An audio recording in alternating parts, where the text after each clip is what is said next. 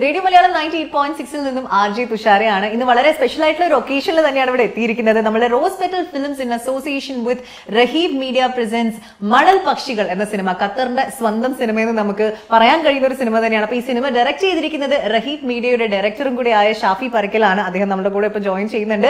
അതുപോലെ തന്നെ ഇത് എഴുതിയിരിക്കുന്നത് എസ് എസ് ബിജുരാജ് ആണ് അപ്പോൾ ഈ ഒരു സിനിമയെ കുറിച്ച് കുറേയധികം വിശേഷങ്ങളൊക്കെ ചോദിച്ചറിയാനുണ്ട്. എന്റയർ ടീം ഇവിടെ ഇല്ലെങ്കിൽ പോലും കുറച്ച് ഇമ്പോർട്ടന്റ് ആയിട്ടുള്ള ആൾക്കാരൊക്കെ തന്നെ ഇവിടെ ഇരിക്കുന്നുണ്ട്. അപ്പൊ ഒന്ന് പരിചയപ്പെടുത്തി തരാം. നമ്മുടെ ഷാഫി ഷാഫി പാരക്കലുണ്ട് നമ്മുടെ സിനിമയുടെ ഡയറക്ടറാണ് അദ്ദേഹം. അതുപോലെ തന്നെ ആതിര ഹരീഷ് ഉണ്ട് ധ്രുവി വിഷ്ണു ഉണ്ട് ഷംനാഥ് ഉണ്ട് ജോണി ഉണ്ട് സുബിൻ ഉണ്ട് ആൻഡ് റേഡിയോ മലയാളത്തിന്റെ എല്ലാം എല്ലാമായ ആർ ജെ ജിബിനും ഉണ്ട്. ഇങ്ങനെ പറഞ്ഞാൽ മതി ഓക്കെ ആണ്? അഭിമാനമാണത്. അതെ തീർച്ചയായിട്ടും. സ്വകാര്യ അഭിമാനമാണ് അപ്പൊ എനിക്ക് ഒന്ന് ഷാഫിക്കയുടെ അടുത്ത് തന്നെ ആദ്യം ചോദിക്കാം. ഈ ഒരു സിനിമ ഇറങ്ങുന്നു എന്ന് പറഞ്ഞപ്പോ തൊട്ടുള്ള ഒരു ചോദ്യമാണ്. എന്നാണ് സിനിമ റിലീസ് ആവുന്നത്? സിനിമ ഒക്ടോബർ പന്ത്രണ്ടാം തീയതി ഖത്തറിൽ റിലീസാണ്. ഫൈനലി കുറെ നാളത്തെ ഒരു എഫേർട്ടാണ് കാരണം ഇവിടെ ഷൂട്ട് ചെയ്യാന്ന് പറഞ്ഞപ്പോഴന്നെ ഒരുപാട് വലിയ ടാസ്ക് ആയിരുന്നു അത് ഏറ്റെടുത്തപ്പോൾ കാരണം ഒന്നാമത് അപ്രൂവൽസിന്റെ കാര്യങ്ങൾ അങ്ങനെയുള്ള കാര്യങ്ങൾ പിന്നെ പ്രത്യേകിച്ച് ഇവിടെയുള്ള ആളുകൾ ഒന്നും എല്ലാവരും ജോലിക്കാരാണല്ലോ. അപ്പോൾ ഒന്നുകിൽ ജോലിക്കാരായിരിക്കും അതല്ലെങ്കിൽ പിള്ളേരാണെങ്കിൽ പഠിക്കുന്നവരായിരിക്കും അവരുടെ സ്കൂളും ഷെഡ്യൂളും ട്യൂഷനും എക്സ്ട്രാ ക്ലാസ്സസും കാര്യങ്ങളൊക്കെ കഴിഞ്ഞിട്ട് അവരുടെ സമയം ഭയങ്കര ഒരു ടാസ്ക് ആയിരുന്നു. ഈ ഒരു സമയത്തിന് അവരെ സമയം കൂടെ നോക്കിയിട്ട് നമ്മൾ ഈ ഷൂട്ടും ഷെഡ്യൂളൊക്കെ വെക്കുക എന്നുള്ളതൊരു ഭയങ്കര ഒരു ടാസ്ക് ആയിരുന്നു. പിന്നെ നാട്ടിൽ നിന്ന് ഒരു മൂന്ന് പേര് നമ്മൾ കൊടുത്തിട്ടുണ്ടായിരുന്നു മെയിൻ ആക്ടേഴ്സ് അപ്പോൾ അവരുടെ ഒരു കോമ്പോസേഷനൊക്കെ ചെയ്യുമ്പോഴും തന്നെ നമ്മൾ മെയിനായിട്ട് ഒരു വെല്ലുവിളി അതായിരുന്നു. ഇവരുടെ ജോലിയും കഴിഞ്ഞിട്ട് കാരണം നാട്ടിലാണെങ്കിൽ ഇപ്പം അവർ ഡെഡിക്കേറ്റഡ് ആക്ടർ ആണെങ്കിൽ അവർ അതിനു വേണ്ടി നടക്കുന്ന ആളുകളാണ്. ഇപ്പം പിള്ളേരാണെങ്കിലും മാസ്റ്റർ ആക്ടേഴ്സ് ഒക്കെ ആണെങ്കിലും അവർ അതിനു വേണ്ടി ഡെഡിക്കേറ്റഡ് ആയിട്ട് ആളുകൾ അവർ അവൈലബിൾ ആയിരിക്കും. പക്ഷെ ഇവിടുത്തെ സിറ്റുവേഷൻ നേരെ തിരിച്ചാണ്. അത് ഇപ്പോൾ അറ്റ്ലീസ്റ്റ് ഷോർട്ട് ഫിലിം ചെയ്യുന്ന ആളുകൾക്ക് വരെ അറിയുന്ന ഒരു സംഭവമാണ്. മേ ബി നൈറ്റിലൊക്കെ ആയിരിക്കും ഷൂട്ട് മിക്കവാറും വെക്കാറുള്ളത്. അങ്ങനെ കുറേ ബുദ്ധിമുട്ടുകളും തരണം ചെയ്തിട്ടാണ് ഇവിടെ വരെ എത്തി. ഇപ്പോൾ എന്തായാലും റിലാക്സ് ആയിട്ടിരിക്കുകയാണ്. തീർച്ചയായിട്ടും. റിലീസിന് വേണ്ടിയിട്ട് കാത്തിരിക്കുകയാണ്. ഈ ചലഞ്ചസ് വന്ന സമയത്ത് ഈ പറഞ്ഞ എല്ലാവരുടെയും കൂടുതൽ ഏറ്റവും ഉഴപ്പന ഉഴപ്പൻ അല്ലെങ്കിൽ ഉഴപ്പുന്നത് ആരാണ് ഏറ്റവും കൂടുതൽ? അങ്ങനെയൊന്നും ഇല്ല. ശരിക്കും പറഞ്ഞാൽ നമ്മൾ നാട്ടിൽ നിന്ന് വന്ന ആളുകൾ എന്ന് പറഞ്ഞാൽ ഭയങ്കര ടാലന്റഡ് ആയിട്ടുള്ള ആളുകളാണ്. അവരുടെ അവരുടെ. ഞാൻ അങ്ങനെയല്ല ഉദ്ദേശിച്ചത്. ഞാൻ അതിലേക്കാണ് വരുന്നത്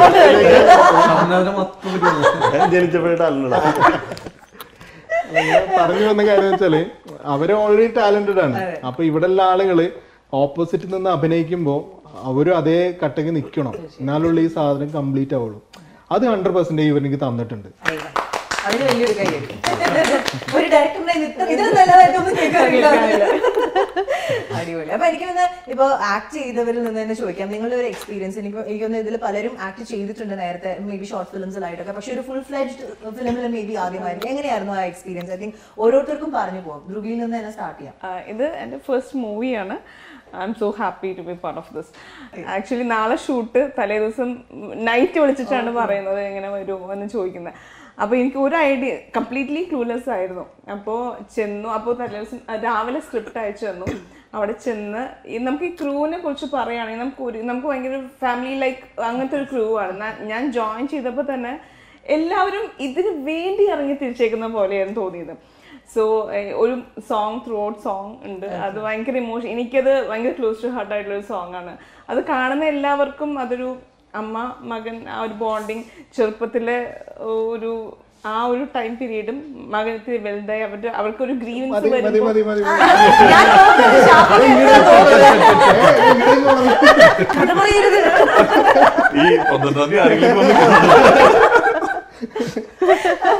അങ്ങനെ അങ്ങനെ അങ്ങനെ. അങ്ങനെ അങ്ങനെ കുറച്ചുകൂടെ കഴിഞ്ഞ നീ മുഴുവനായിട്ടൊക്കെ അവളെ മൈക്ക് ഓഫ് ചെയ്തു ബേസിക്കലി അങ്ങനെയായിരുന്നു. യെസ് അത് ഭയങ്കര ക്ലോസ് ടു ഹാർട്ട് ആയിട്ടുള്ള ഒന്നാണ് ആൻഡ് എന്റെ ആയാലും ഫസ്റ്റ് മൂവി ആയിരുന്നു. ആൽബം ഒക്കെ ചെയ്തിട്ടുണ്ടെങ്കിലും ഇത് ഫസ്റ്റ് മൂവിന്റെ കുറേ ക്യാമറാസും ഒക്കെ കാണുമ്പോൾ നമുക്ക് എന്തായാലും ഒരു പേടി തോന്നും. പക്ഷേ ഇപ്പം ഷാഫിക്ക ആയാലും ബാക്കി ബാക്കി ഓൾ ക്രൂസ് എല്ലാവരും നല്ല ഫ്രണ്ട്ലി ആയിരുന്നു. പിന്നെ നാട്ടിൽ നിന്ന് വന്ന ആക്ടേഴ്സ് എന്ന് പറഞ്ഞാൽ ഒരു ജാടയില്ലാത്തവരായിരുന്നു ഒരു മൂന്ന് പേരും. അപ്പം എല്ലാവരും നമ്മുടെ കൂടെ നിന്നത് കാരണം നല്ല രീതിയിൽ ചെയ്യാൻ പറ്റിയെന്ന് തോന്നുന്നു. എന്റെ സെക്കൻഡ് മൂവിയാണ് പക്ഷെ ഫസ്റ്റ് മൂവി എവിടെയെന്ന് എനിക്ക് ഇപ്പോഴും അറിയില്ല. ഫസ്റ്റ് മൂവി ഇറങ്ങിയില്ല വലിയ വലിയ കുറെ ആക്ടേഴ്സിന്റെ ഒക്കെ അങ്ങനെയല്ലേ സ്റ്റോറീസ് അല്ലേ? സത്യം. മൊല്ലാലേട്ടന്റെ ഒക്കെ അങ്ങനെ ഇതിൽ ഇതിലും അവനെ അഭിനയിപ്പിച്ചിട്ട് ഒരുപാട് ബുദ്ധിമുട്ടി. ഇതിനേക്കാൾ ബുദ്ധിമുട്ടി ഇതിന് മുമ്പ് അഭിനയിപ്പിച്ച ആ മൂവി പക്ഷെ അത് പുറത്തിറങ്ങി അതും ഷാഫിക്കയുടെ കൂടെ തന്നെയായിരുന്നു? അല്ലല്ല അത് നാട്ടിൽ വെച്ചിട്ടാണ്. ആ, പിന്നെ ചെറിയൊരു പ്രശ്നം എന്ന് പറഞ്ഞു കഴിഞ്ഞാൽ ഇവന്റെ കൂടെ ചെയ്തെന്നുള്ളത് ചെറിയൊരു നാണക്കേടുണ്ട് അത് ഞാനങ്ങനെ മറക്കും. ജിബിലേക്ക് വരാം. വേണമെന്നില്ല ഇവർ തമ്മിൽ ഇങ്ങനെയാണോ ഫുൾ സെറ്റിലേക്ക് എപ്പോഴും അങ്ങനെയാണ്. ഇതിലെന്താ സംഭവം വെച്ചിട്ടുണ്ടെങ്കിൽ ഇതിൽ ഒരു ആറ് പേര് അവർ സിനിമ എന്ന് പറയുന്ന ഒരു സ്വപ്നം ഇപ്പൊ നമുക്കറിയാം ഖത്തറിൽ വന്ന് എല്ലാവർക്കും ഒരുപാട് ആഗ്രഹം ആഗ്രഹമുണ്ട്. പക്ഷെ ഇത് പ്രാക്ടിക്കലാക്കി എടുക്കാൻ പറഞ്ഞ ഒരുപാട് ബുദ്ധിമുട്ടുണ്ട്. അതിനുവേണ്ടി ആറ് ഫാമിലിയാണ് ഇറങ്ങിയത്. അതാണ് അതിൽ എടുത്ത് പറയേണ്ട ഒരു കാര്യം. പിന്നെ എനിക്ക് തോന്നുന്നത് അതിൽ എടുത്ത് എല്ലാവരും ഒരേപോലെ എഫേർട്ടാണ് പക്ഷെ എനിക്ക് ഷാഫിഖിന്റെ കാര്യത്തിൽ നിന്ന് റിലീസ് ആകാൻ വേണ്ടി നമ്മൾ എനിക്ക് തോന്നുന്നത് ഷൂട്ട് ചെയ്തിട്ട് ഇത്രയും സമയം കഴിഞ്ഞല്ലോ. പക്ഷെ ഇതൊന്ന് ഒരുപാട് പെർമിഷൻസ് കാര്യങ്ങളൊക്കെ ഉണ്ടായിരുന്നു അപ്പൊ ഷാഫിക്ക് ശരിക്കും കുറേ കാലങ്ങളായിട്ട് ഇതിന്റെ പുറകെ അത്ര ഡെഡിക്കേറ്റഡ് ആയിട്ട് എന്നിട്ട് പല സമയത്ത് വന്നിട്ട് എടാ അത് ശരിയായിട്ട് മെസ്സേജ് അയക്കും വരും. അപ്പൊ നമ്മൾ നമ്മളും ഹാപ്പിയാണ് കാരണം ഇത്രയും നമ്മൾ എല്ലാവരും ഒരു അത് പക്ഷേ പിന്നീട് എന്തെങ്കിലും കാര്യങ്ങൾ കൊണ്ട് വീണ്ടും അങ്ങനെ അങ്ങനെ ഇപ്പൊ ശരിക്കും പറഞ്ഞാൽ എനിക്ക് തോന്നുന്നു ഷാഫിക്ക് ഒരു മാരത്തോൺ പ്രയത്നത്തിന്റെ ഒരു റിസൾട്ടാണ് ഈ ഒരു പന്ത്രണ്ടാം തീയതി. നമുക്ക് സിനിമ നമുക്കറിയാം നമ്മുടെ ഖത്തറിലാണ് നമ്മളുടെ ഇവിടെ നിന്ന് ഷൂട്ട് ചെയ്തിട്ടുള്ള സിനിമയാണ് പക്ഷെ ഇങ്ങനെ ഒരു സിനിമ ഷൂട്ട് ചെയ്തത് തിയേറ്ററിലേക്ക് എത്തിക്കുക എന്നുള്ളതാണ് ഏറ്റവും വലിയൊരു വിജയം എന്ന് പറയുന്നത്. തന്നെയാണ്. ആളുകളിലേക്ക് എന്ന് പറയുന്നത് അതൊരു വലിയൊരു വിജയം തന്നെയാണ്. അത് ചെറിയൊരു കാര്യമല്ല. ആൻഡ് ജോൺ ചേട്ടനിലേക്ക് വരാം. ഇത് ശരിക്കും നമുക്കൊരു ഫാമിലി അറ്റ്മോസ്ഫിയറിൽ എല്ലാവരും കൂടെ ഒരുമിച്ച് ചേർന്ന് നാട്ടിൽ പോകുന്നവരാണെങ്കിലും നല്ല രസകരമായിട്ടുള്ള അനുഭവമായിരുന്നു എല്ലാവർക്കും തന്നെ. അപ്പൊ അത് ഞങ്ങളും വെയിറ്റ് ചെയ്തിട്ടാണ് മൂവി കാണാൻ വേണ്ടി ആൻഡ് യെസ് ഫസ്റ്റ് ടൈം ആയിരുന്നു ക്യാമറ വ്യൂ മുന്നിൽ നിന്നത് അത് ഷാഫിഖിനെ സംബന്ധിച്ച് കട്ട് പറയാൻ മറന്നുപോയി. നമുക്ക് ഒരു കോൺഫിഡൻസ് കിട്ടി ഷാഫിക ആ ഒരു രണ്ടു മാസം നമുക്ക് മറക്കാൻ പറ്റാത്തൊരു അനുഭവം തന്നെയായിരുന്നു.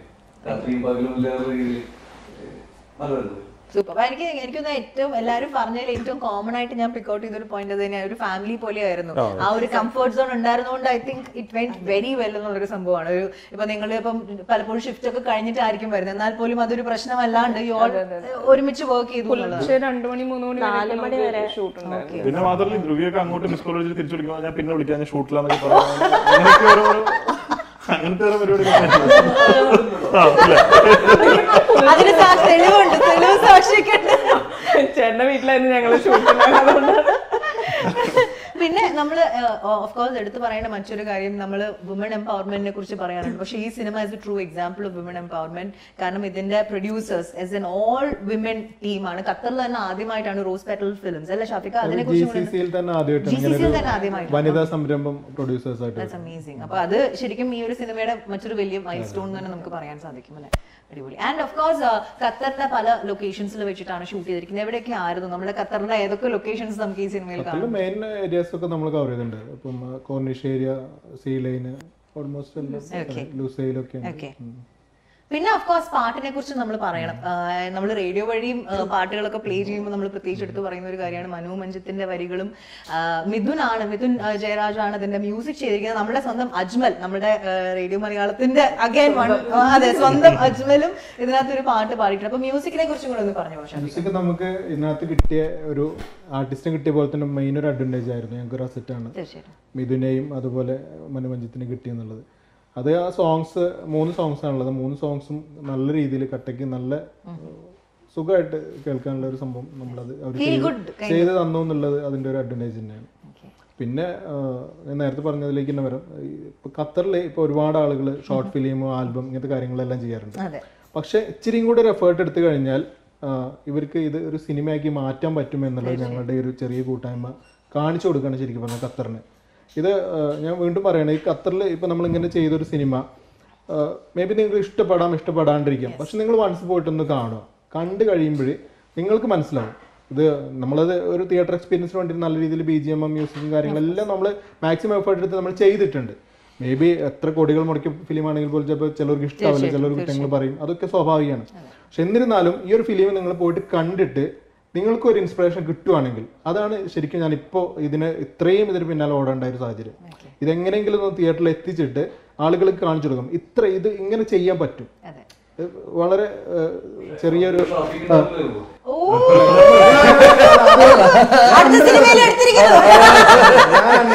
സപ്പോർട്ട് ഇപ്പൊ എല്ലാം അറിയാം നമുക്ക്. എന്തൊക്കെ എങ്ങനെ ചെയ്യണം കറക്റ്റ് അറിയാം. അതുകൊണ്ട് ഞാൻ ഹൺഡ്രഡ് പെർസെന്റേജ് സപ്പോർട്ട് ചെയ്യാൻ റെഡിയാണ്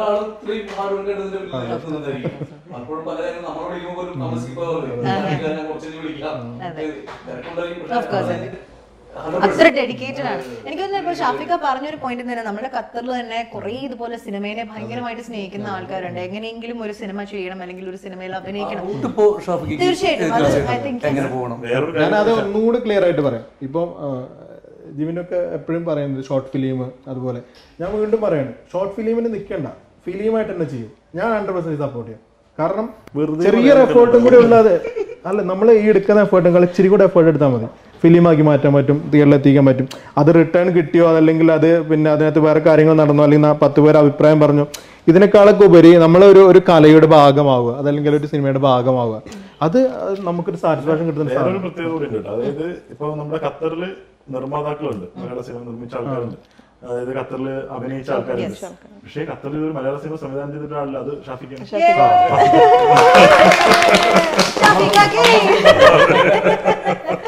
അടിപൊളി. പിന്നെ ഓഫ് കോഴ്സ് എനിക്ക് ചോദിക്കാനുള്ള മറ്റൊരു ചോദ്യം ഈ ഒരു കാസ്റ്റിംഗ് ക്രൂവിലേക്ക് എത്തിയ ഒരു പ്രോസസ് എങ്ങനെയായിരുന്നു?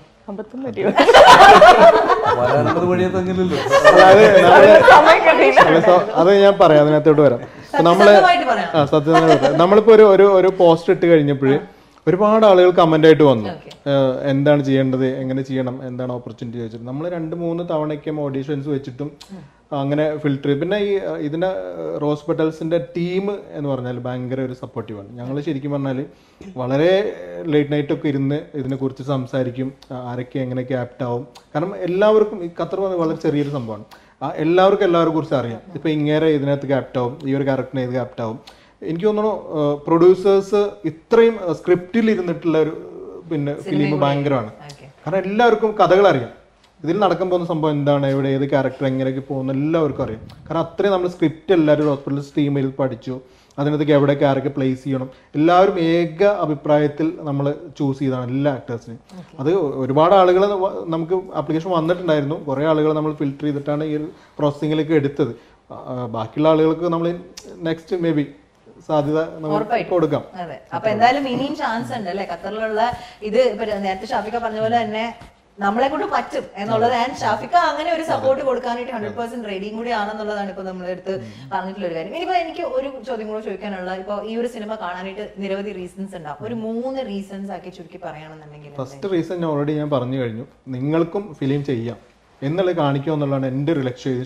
ശരിക്കും പറഞ്ഞത് കാരണം ഞാൻ നേരത്തെ പറഞ്ഞ് വീണ്ടും റിപ്പീറ്റ് ചെയ്യും. ചെറിയൊരു എഫേർട്ട് കൊണ്ട് കൂടുതലിട്ട് നിങ്ങൾക്കും ഫിലിം ചെയ്യാം. അതിനുവേണ്ടി നിങ്ങൾ ഇത് പോയി കാണണം എന്ന് ഞാൻ പറയുന്നത് രണ്ടാമത്തെ കാര്യം എന്ന് വെച്ചാൽ നമ്മളൊരു സോഷ്യൽ മെസ്സേജ് എന്നുള്ളത് നമ്മുടെ ഒരു ഒരു ഒരു ഒരു അഞ്ച് ആറ് ഫാമിലി നടക്കുന്നൊരു പിക്ചറായിട്ടാണ് ഇത് ഞാൻ ചിത്രീകരിച്ചിരിക്കുന്നത്. അപ്പം അതിനകത്ത് പിള്ള നമ്മുടെ കുട്ടികളാണെങ്കിലും ഫാമിലി ആണെങ്കിലും അതല്ലെങ്കിൽ ബാക്കി ആരൊക്കെ ആയിക്കോട്ടെ നമ്മൾ നമുക്കൊരു ഒരു പ്രതീക്ഷ ഉണ്ടാവും. നമ്മുടെ കുട്ടികൾ ഇവിടേക്ക് നിൽക്കും അതല്ലെങ്കിൽ ഇന്ന ഒരു ബാരിക്കേഡിന്റെ ഉള്ളിലാണ്. നമ്മൾ നമ്മുടെ മൈൻഡിൽ ഒരു ബാരിക്കേഡ് ഉണ്ടാവും. പക്ഷെ ഇതൊന്നുമല്ല. നമ്മൾ എന്തൊക്കെ ബാരിക്കേഡുകളും അല്ലെങ്കിൽ നമ്മുടെ ഫാമിലിക്ക് ഒരു ബാരിക്കേഡൊക്കെ വെച്ചാലും ഇതിനപ്പുറത്തൊക്കെ ഇത് പൊട്ടിച്ചിട്ട് പോവാനുള്ള ഒരു സാധ്യത എപ്പോഴും ഒരു സമൂഹത്തിലുണ്ട്. അപ്പോൾ നമ്മളത് എപ്പോഴും മിസ്യൂസ് ചെയ്യാനുള്ള സാധ്യതകൾ നമ്മുടെ എന്തോ എന്ത് ബന്ധങ്ങളായിക്കോട്ടെ എന്താണെങ്കിലും അത് മിസ്യൂസ് ചെയ്ത് നമ്മളെ ആളുകളെ കൊണ്ടുപോകാനുള്ള ആളുകൾ പുറത്ത് നിൽക്കുന്നുണ്ട് എന്നുള്ളത് ഭയങ്കര ഒരു ഒരു മെസ്സേജ് ഞാൻ കൊടുക്കാൻ വേണ്ടി ശ്രമിച്ചിട്ടുണ്ട്. മേ ബി അത് കൺവേ ചെയ്യും എന്നാണ് എനിക്ക് പ്രതീക്ഷിക്കുന്നത്. തീർച്ചയായും അപ്പൊ ഒരു ഒരു വലിയ മെസ്സേജും കൂടെ പാസ് ചെയ്യുന്ന ഒരു സിനിമയും കൂടെ തന്നെയാണ് നമുക്ക് പറയാൻ സാധിക്കും അപ്പൊ എന്തായാലും ഉടനടി തന്നെ തിയേറ്ററുകളിലേക്ക് ഇറങ്ങാണ് മണൽ പക്ഷികൾ. ആഫ്റ്റർ സോ മച്ച് അത് എനിക്ക് എനിക്കൊന്ന് ഷാഫിക്കയുടെ മുഖത്ത് കാണാം. അത്രയും നാളത്തെ ഒരു ഹാർഡ് വർക്കും ചാലഞ്ചസും ഒക്കെ കഴിഞ്ഞിട്ട് ഫൈനലി അത് റിലീസ് ആവാൻ പോകുന്ന സമയത്ത് ഉണ്ടാവുന്ന ഒരു ആശ്വാസവും ഒരു ഒരു അല്ലെ? ഒരു റിലാക്സേഷൻ എനിക്ക് തോന്നുന്നു ഷാഫിക്ക ജിബിൻ പറഞ്ഞ പോലെ ഷാഫിക്ക ഇതിന്റെ പുറയായിരുന്നു നമ്മളിത് വിട്ടു. നമ്മളത് ഷൂട്ട് കഴിഞ്ഞ് പിന്നെ നമ്മുടേതായിട്ടുള്ള തിരക്കുകൾ. പക്ഷെ ഷാഫിക്ക എന്ന് പറഞ്ഞാൽ ജിബിൻ പറഞ്ഞ പോലെ നമ്മളിങ്ങനെ അപ്ഡേറ്റ് ചെയ്തോണ്ടിരിക്കുക അത്. ബെസ്റ്റ് പാർട്ടായിട്ട് എനിക്ക് ഷാഫിക്കൽ തോന്നിയിട്ടുള്ളത്. ഈവൻ ദോ നമ്മൾ ചോദിച്ചില്ലെങ്കിലും ഷാഫിക്ക നമ്മൾ ഇങ്ങനെ ഒരു അപ്ഡേറ്റ് ഉണ്ട് കേട്ടോ ഇങ്ങനെ എനിക്ക് എനിക്ക് ഈ ന്യൂ ഇയറിന് ഫസ്റ്റ് കിട്ടിയ ഒരു സർപ്രൈസ് ആയിരുന്നു ആ പോസ്റ്റർ മണപക്ഷികളുടെ പ്രൊഫൈൽ പിക്ചർ ആ ഒരു ഓരോ ക്യാരക്ടർ ലോഞ്ച് വെച്ചിട്ട് എനിക്ക് ഈ ഒരു ന്യൂ ഇയറിന് ഷാഫിക്ക അയച്ചു തന്നെ അപ്പോൾ ഭയങ്കര സന്തോഷം തോന്നി. ഷാഫിക്കയുടെ ആ ഒരു ഡെഡിക്കേഷൻ തന്നെയാണ് ഇന്ന് നമ്മളെല്ലാവരും കൂടി ഇരിക്കുന്നത്. അപ്പൊ എന്തായാലും നിങ്ങൾക്ക് എല്ലാവർക്കും ഒരു കൈയടി കൂടെ തരികയാണ്. And wishing all the best cinema ഇറങ്ങുന്ന സമയത്ത് എല്ലാവരും പോയി. നിങ്ങൾ എല്ലാവരും കൂടെ ഒന്ന് പറഞ്ഞു പോയി കാണുന്നത് പിന്നെ ഇതിന്റെ അകത്തൊരു പ്രധാനപ്പെട്ട ഒരു കാര്യമുള്ളതെന്ന് പറയുന്നത് നമ്മുടെ പുതിയ തലമുറയിലെ കുട്ടികൾക്ക് അവരിലൂടെ നടന്നു പോകുന്ന ചില പ്രശ്നങ്ങൾ പാരൻസ് അറിയാറില്ല. ആ ഒരു പ്രശ്നത്തിലേക്കുള്ളൊരു പാരൻസിന് വേണ്ടിയുള്ള ഇൻസൈറ്റും കൂടെ അതിന്റെ അകത്തുണ്ട് അപ്പോൾ അത് ത്രൂ ഔട്ട് പോകുന്ന ഒരു കാര്യമാണ്. അത് എനിക്ക് തോന്നുന്നത് ഇവൻ ഖത്തറിലും നിലനിൽക്കുന്ന ചില പ്രശ്നങ്ങൾ ചൂണ്ടിക്കാണിക്കാനായിട്ട് സിനിമ ഉപകാരപ്പെട്ടിട്ടുണ്ട്. പ്രധാനപ്പെട്ട ഒരു കാര്യം എന്ന് വെച്ചാൽ നമ്മൾ മാത്രമല്ല നമ്മളൊക്കെ സിനിമയുടെ ഭാഗമാണ്. പക്ഷേ സന്തോഷ് കീടാറ്റൂര് അദ്ദേഹം വളരെ ഫേമസ് ആയിട്ടുള്ള ഒരുപാട് ഒരുപാട് സിനിമകളാണെങ്കിലും നാടകങ്ങളാണെങ്കിലും അത്രയും കഴിവുള്ള ഒരു വ്യക്തിയാണ്. അദ്ദേഹമാണ് ഇതിൽ പ്രധാന കഥാപാത്രമായിട്ട് വരുന്നത്. അതുപോലെ തന്നെ ഷാനവാസ് എന്ന് പറയുന്നത് നമുക്ക് മിനി സ്ക്രീനിലൂടെ എല്ലാവരുടെയും പ്രിയപ്പെട്ട ഷാനുക്ക. എന്ന് നമ്മൾ വളരെ പ്രിയപ്പെട്ട വ്യക്തിയാണ്. അതുപോലെ അഞ്ജലി. നമുക്ക് എനിക്ക് തോന്നുന്നത് ശരിക്കും ഞങ്ങൾ അന്ന് ഏറ്റവും ഏറ്റവും സിമ്പിൾ ഇപ്പൊ നമ്മൾ മറന്നുപോയി ശരി കുറെ ദിവസങ്ങൾ കഴിഞ്ഞുകൊണ്ടാണ്. ആ സമയത്തൊക്കെ ഒരു രാത്രി ഷൂട്ട് ഉണ്ടായിരുന്നു. മൂന്ന് മണിയൊക്കെ. അപ്പൊ കുട്ടികളൊക്കെ ഉറങ്ങാതിരിക്കാൻ വേണ്ടിയിട്ട് ആളാണ് എണീറ്റ് ഇരുന്നിട്ട് അവിടെ കുട്ടികളെ പാട്ട് പാടിക്കലും. അപ്പൊ അത് അതൊക്കെ പറഞ്ഞാൽ അതിനൊന്നും ആവശ്യമില്ല. അവർക്ക് അഭിനയിച്ച് അവർക്ക് പോയാൽ മതി. പക്ഷെ അവിടെ ഒരു ഭയങ്കരമായിട്ട് ആണ് അവരൊക്കെ നിന്നിട്ടുണ്ടായിരുന്നത്. അപ്പോൾ അത് അവർ അവരുടെയൊക്കെ ഒരു എഫോർട്ടും അവരുടെ അവരാണ് പ്രധാനമായിട്ട് നിൽക്കുന്നത് കേട്ടോ. നമ്മളൊക്കെ അതിന്റെ ഭാഗമാണ്. പിന്നെ കുറെ കുട്ടികളുമാണ്. തീർച്ചയായിട്ടും നമ്മൾ ഇതുപോലെ ഖത്തറിൽ നിന്ന് ഇത്രയും പേരുടെ എഫോർട്ടിൽ വരുന്ന തിയേറ്ററിൽ എത്തുന്ന ഒരു സിനിമ എന്ന രീതിയിൽ ഖത്തറിലുള്ള ആളുകൾ ഖത്തറിലുള്ള മലയാളികൾ തീർച്ചയായിട്ടും പോയിട്ട് തിയേറ്ററിൽ കാണുക എന്നുള്ള റിക്വസ്റ്റ് ആണ്. Thank you thank you so much ഇത്ര നേരം നമ്മുടെ കൂടെ ജോയിൻ ചെയ്തതിന് and wishing the film and all of your all the very best